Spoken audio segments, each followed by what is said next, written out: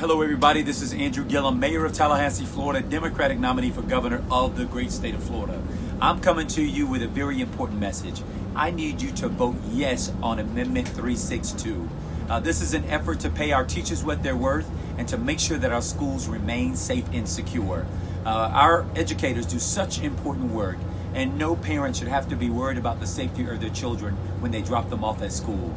With this amendment, we'll get one step closer to paying teachers what they're worth and ensuring that our schools remain safe for everybody.